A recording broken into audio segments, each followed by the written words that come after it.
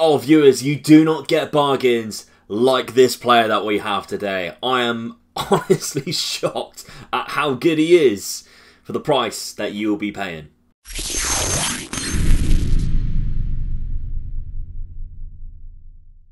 Welcome to the Omega Luke Gaming channel viewers. Today another player spotlight and we have a player who is just so goddamn cheap for what we have. It's unreal and the end result is incredible as well. So remember to please smash that subscribe button so you do not miss any more videos in the future. Press the like as well so you help me in the YouTube algorithm and eventually viewers, coming together, we will reach a goal of 20,000 subscribers during 2021. That's the aim, that's the new goal. We smashed we smashed 10k in 2020 so there's no reason why we cannot do 20k in 2021. That's uh, that's the goal I have. And of course, if you do like some live action on Twitch, we are live with the Youth to Go, twitch.tv forward slash Omega Luke Gaming. Now, this player, well, I need, I need, I really need your opinions now, viewers. At the end of the video, you need to tell me whether you rate this player five stars, four stars, three stars, because I am, oh, this is going to be a good one. I really think we could be looking at a five-star player here. And the man in question is Uriel Celi. Now you can find him, he is Peruvian viewers, and you can find him in the Peruvian leagues with Cantoloa, Cantolao, I don't really know. But anyway, already, I mean, this is obviously some fixed attributes as well, because every time I've loaded this guy, this is how good he looks. He's a bit of a set-piece genius, viewers. He has 15 for penalty taken, free kicks, and 16 for corners. Very good at crossing the ball as well. He's left-footed only, but he does play on that left-hand side. So if you do play like wingers, he's really good, but he also can play in the cam role really effectively because he also has 15 passing. Great determination. His physicals are still decent, not amazing. Uh, the mental attributes, they will grow, viewers, and be in it, and he will be a very good player. But the best thing about this player, viewers, is he is only worth 39k and normally when they're worth that much, they still bump the price up.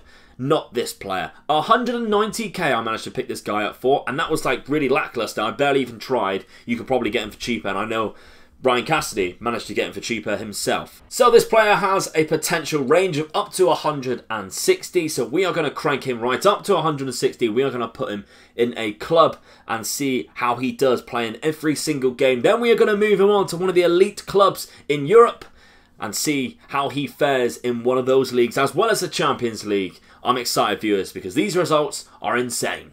So we find ourselves, viewers, in Belgium. Now, the reason why I went to Belgium is because they are kind of like the leagues below the elite leagues of Europe. And I think this guy at the start of the league campaign, well, at the start of his development anyway, will thrive in a league like Belgium.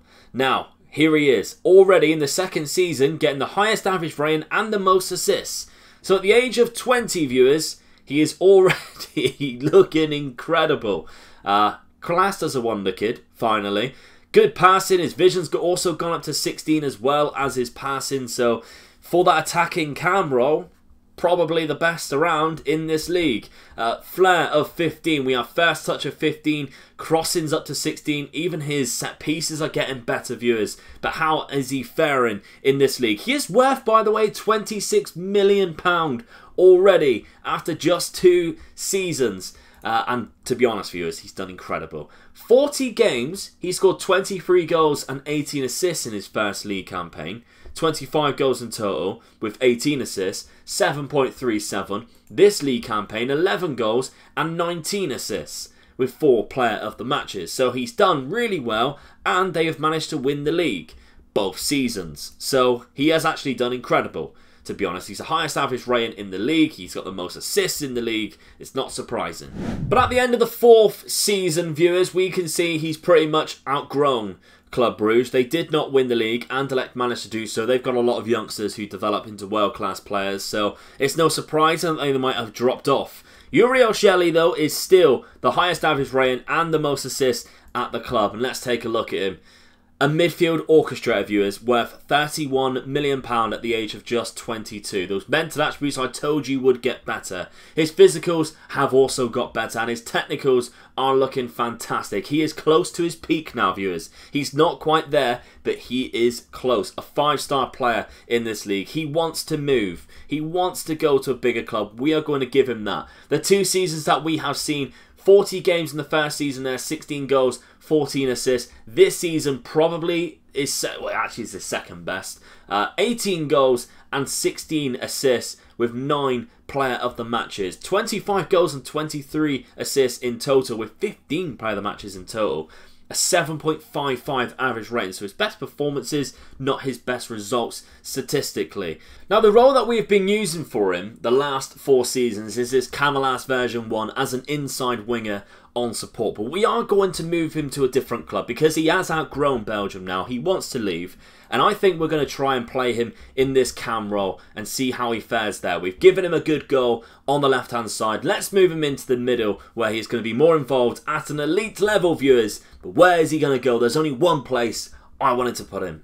And that place is Paris, viewers. We have moved into France where he is going to be joined with Erling Haaland, who of course has scored 78 goals, so he didn't win this time the highest average rating. But Celi also, he still kept on what he was doing in Belgium. He managed to get the most assists with 32, so that's obviously quite good. If we do look at him as well, viewers, he has progressed into an elite attacking midfielder. This is him now at his maximum. He has had two seasons in Paris. He is worth £62 million. So for the player where you picked him up for less than 200k, is now worth £62 million at the age of just 24. So we haven't even given him any player traits either, viewers. So that's that says how good he has actually been. His mental attributes have grown into an incredible player. 18 vision with 17 passing, viewers. That is deadly. If we give him some player traits like tries um, killer balls often and stuff like that, we could be looking at even more. The agility of 17, because remember, viewers, we are playing him in this attacking midfielder role now. He doesn't necessarily need the physicals that we have been given him. The technicals and the mental attributes are what is needed and required, and he's doing just that. He only has 9 finishing, but he's still scoring goals because he has managed to pick up 18 assists in total. Two seasons, he's got 13 assists and 18 assists, a 7.37 average rating. Now, the tactic we are using him in this season, he actually scored 10 goals in total, viewers, this season. The tactic we are using him in is the Phantom Menace, and we're going to see that. So we are playing him in that cam role, using the Phantom Menace. I wanted to see what we can produce in that cam role, because I very rarely use the cam role. Uh, I don't really find it effective in the stuff that I've done in the past. Maybe this is going to change my opinion because this player, 18 assists in the league, is very high. That's almost assist every other game, which is hard and difficult to do. It's actually easier to score the amount of goals rather than get the most assists. So for this player, after two seasons in Paris, he's doing very well, but we still have a couple of seasons to go, viewers. Let's take a look. So the final season, viewers, he doesn't find himself on any of the highest statistics, but let's see how he managed to do. Uriel Shelley. So, this is him at his final peak form. We've already seen that. Uh, and for Paris Saint-Germain. So he hasn't had as good a last two seasons what he did before. Just five goals and eight assists in the season prior is still a 7.3 average rating, so he's still performing well. That's good. Uh, but this season, 11 assists. So he picked up the assists into double figures again. Two goals, four player of the matches, a 7.19 average rating. Still very high.